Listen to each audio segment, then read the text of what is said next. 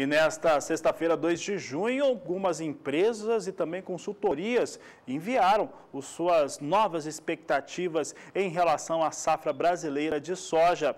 Foi o caso da Abiov, que não trouxe alterações em relação às suas expectativas de processamento, de exportação e produção de soja na temporada 16-17, e foi o caso da FC Stone também, que mandou as suas expectativas para soja e milho.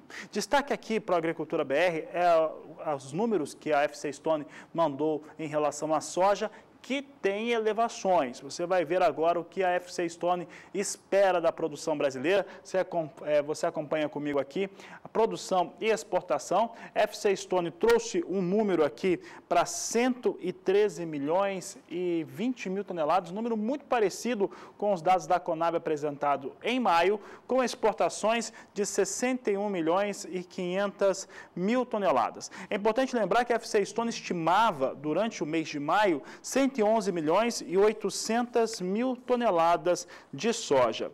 De acordo com a empresa de consultoria, o aumento da soja decorreu de elevações nas produtividades nos estados do Paraná, Rio Grande do Sul e até no estado da Bahia. De acordo com o FC Stone, mesmo com a Matopiba tendo algumas questões ligadas a problemas climáticos, alguns momentos que tivemos durante o desenvolvimento da temporada 16-17 que não foram favoráveis, o estado da Bahia teve uma melhora em relação às suas expectativas.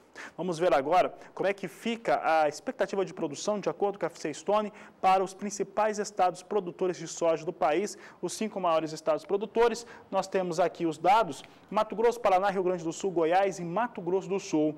Mato Grosso tem expectativa da FC Stone em 30 milhões 520 mil toneladas. Paraná, 19 milhões 830 mil.